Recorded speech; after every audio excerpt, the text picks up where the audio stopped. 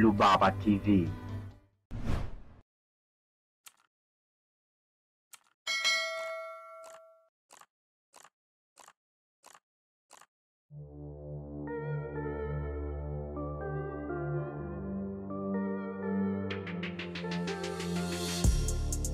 Leo kuna mmoja kati ya wenzetu hapa ndani ya Rubaba TV ameniuliza swali asubuhi ambalo nikaona ni vyema kuliko kumjibu yeye peke yake, basi niweze kuzungumzia katika kipindi cha leo, kwa sababu hili sio swali ambalo mara ya kwanza nimeshaulizwa.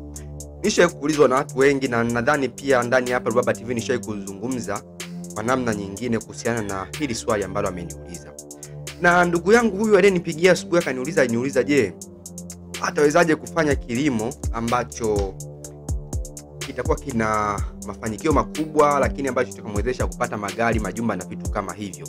Na maana kwamba ni aina gani ya kilimo ambacho kina pesa kuliko aina zote, kwa sababu alisema ana mpango kuingia kwenye kilimo na sasa anatafuta ni kilimo gani ambacho akiwekeza atapata pesa, pesa nyingi ya kutosha, lakini pia atapata faida kubwa. Sasa swali lake kidogo lilikuwa technical lakini nikaona ni vyema niweze kumjibu ili kuweza kumsaidia kwa namna moja au nyingine. Kwa hiyo hata wewe pia kama ulikuwa na swali ya namna hii katika kipindi cha leo, nitalijibu vizuri na ni tumaini langu utajifunza na utaelewa. Cha msingi subscribe na kubofya alama ya kengele kama wewe ni mgeni au hata kama wewe sio mgeni na hujafanya hivyo, lakini pia mjulishe mwenzako naye aweze kujifunza na kufahamu vitu kadha wa kadha ambavyo tunaviweka hapa ndani ya Rubaba TV. Kwanza unachotakiwa kufahamu ni kwamba hakuna kilimo specific kwamba hiki kilimo ndio kina hela kupita kilimo kingine, kwa sababu sio shaka, sisi wote ni mashahidi. Kuna watu tumeshasikia kwamba wamelima matikiti maji na wamepata pesa nyingi. Tukaachana na tikiti maji, kuna wengine wamelima vitunguu na tumeshuhudia kwamba wamepata pesa nyingi. Kuna wengine pia, na sasa hivi hata tukiona kwamba watu wanasema wanalima maparachichi wanapata pesa nyingi sana, wengine wanalima mboga mboga, nyanya na kadhalika. Kwa hiyo kilimo chochote kile kina pesa endapo ukiamua kufata masharti ya kilimo, na alio ndio nitakayoyazungumzia leo. Kwa wewe ambaye unataka kufanya mafanikio, I mean kupata mafanikio kwenye kutia kwenye kilimo, utafanyeje au ni vitu gani vya ambavyo vitakuongoza? Hicho ndo nitakachokizungumzia kwa leo, na ninahisi kwa namna moja au nyingine kitakusaidia kuweza kufanya kilimo chenye tija, na maana utaweza kupata pesa kwa kilimo ambacho unakifanya. Kwanza, kama nilivyosema, hakuna kilimo specific lakini sasa wewe utajuaje kwamba hiki kilimo kina pesa au kilimo kina tija ukilinganisha na vingine? Kwanza ni lazima ufanye uchaguzi wa aina ya kilimo ambayo unataka kufanya. Unawezaje kufanya uchaguzi? Ni vyema kwanza ku au kuangalia aina tofauti tofauti ya kilimo ambacho unahisi wewe unaweza ukafanya. Kwa mfano, unaweza ukaangalia kwamba kilimo cha tikitimaji, ukaangalia kilimo cha mahindi, ukaangalia kilimo cha vitunguu na vyote hivyo ukafanya research fupi na ukaweza kuevaluate. Na kuevaluate ni vipi? Hii itakusaidia kwanza kufahamu, lazima ulinganishe kiasi cha mtaji ambacho kilimo vyote ambavyo umevichagua labda itachukua, lakini pia angalia muda ambao kilimo ambacho kitachukua, lakini pia angalia soko likoje. Ukiweza kuvilinganisha hivi vyote moja kwa moja, unaweza ukapata specific sasa kwamba kilimo hiki naweza nikakifanya. Kwa mfano, unaweza ukafanyeje? Unaweza ukafanya utafiti kuhusiana na kilimo cha tikiti maji, lakini pia ukafanya labda utafiti wa kilimo cha vitunguu, ukaanza kuangalia vitu vingi, kuanzia kiasi cha mtaji, ukaangalia muda ambao utakaa shambani, lakini pia utaangalia soko lake likoje kwa kufanya evaluation nzuri.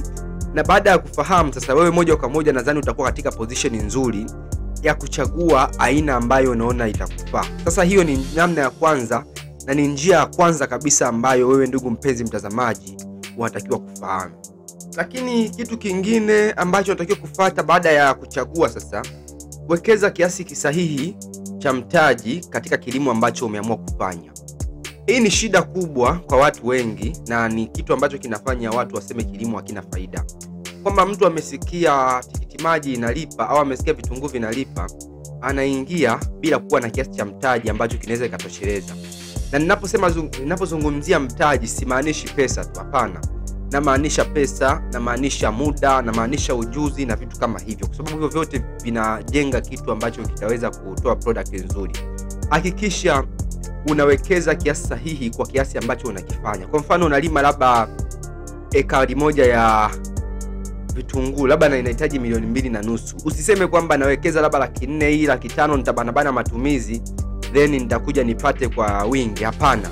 Kama inahitaji laki tano basi hakikisha unafanya juu chini unakuwa na hiyo laki tano kabla ya kuanza. Na hii itapunguza matatizo mengi na itapunguza vitu ambavyo sio vya msingi. Lakini pia hakikisha unaweka timing ambayo unakuwa na muda kuweza kufuatilia kuweza kukaa shambani.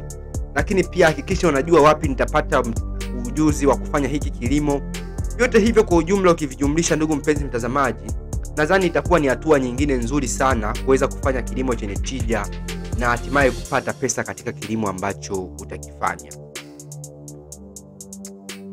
Na baada sasa ya kufahamu um, I mean, kilimo kinahitaji kiasi gani kuanza basi ni vyema wewe ndugu mpenzi mtazamaji kwa wakulima wadogo au wakulima ambao wanaanza ni vyema kuanza kidogo kidogo na sio kukurupuka tu na kuanza na eneo kubwa. Kwa sababu gani? Kwanza hii inakuwa ina faida pande zote mbili kwa upande wa kiuchumi lakini pia hata kwa upande wa maendeleo yako mwenyewe. Unapokuwa unaanza kidogo kumbuka wewe ni mkulima mpya. Una ujuzi wa kutosha ufahamu changamoto za kilimo na vitu ambavyo vinaweza vikawa vinajitokeza katika hicho kilimo ambacho unakifanya. Kwa njia sahihi ambayo itakusaidia wewe ni kwanza kidogo kidogo kwanza kuweza kujitengenezea confidence ya kufanya lakini pia kuanza kujitengenezea connection mbalimbali mbali, mfano soko wataalam na vitu kama hivyo. Lakini pia hiyo itakusaidia hata endapo utapata hasara basi itakuwa sio kubwa sana.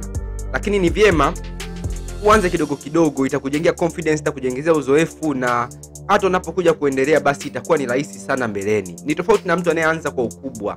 Moja kwa moja inaweza ikakuchukulia nguvu nyingi ikakuchukulia muda mwingi na hatimaye unaweza kukuta usipate kile ambacho ulikuwa unakitarajia kukipata. Kwa hiyo hicho ni kitu kingine cha msingi sana ambacho wewe kama mkulima ambaye unataka kufanya kilimo chenye tija na kupata pesa nyingi kupitia kilimo ni lazima ukifanye na baada sasa kuanza kidogo kidogo tumefahamu sasa umeshaanza kidogo kidogo umeshazoea umeshafahamu umeshajua hela inaingiaje umeshajua soko likoje umeshajua vitu kadha wa kadha.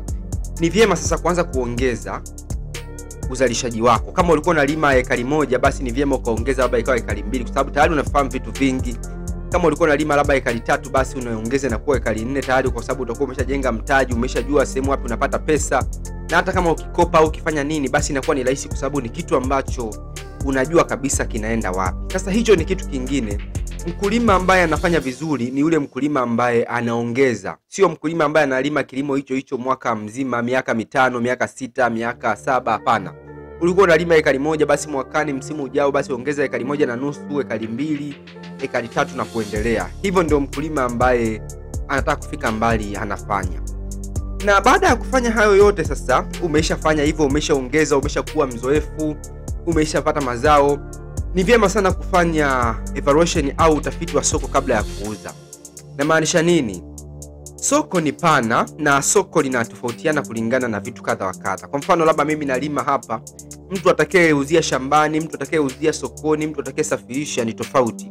Kwa hiyo kabla ya kukurupuka kuuza mazao yako hakikisha unatafanya utafiti wa kutosha. Mzali, I mean, mteja huyu ananunua kwa bei gani mteja huyu ananunua kwa bei gani nikiuzia hapa napata faida gani nikiuzia sokoni napata faida gani nikisafirisha napata faida gani au ni sehemu gani ambayo hili zao lina trend na nikienda kuuza basi naweza nikapata faida.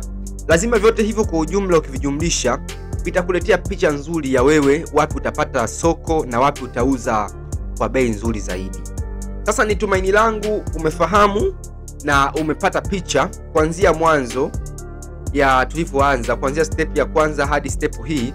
Na nadhani ndugu mpenzi mtazamaji sasa upo katika position nzuri ya kufanya kilimo chenye tija na hatimaye kupata pesa nyingi kupitia kilimo. Kama una swali au una kitu chochote cha kuchangia au una chochote cha kuongea nasi basi unakaribishwa hapo kwenye comment bonyeza na uweze kutuuliza chochote au kuchangia chochote na sisi kwa wakati sahihi tutakujibu. Naitwa imani rubaba na hii ni rubaba tv na mpaka wakati mwingine asante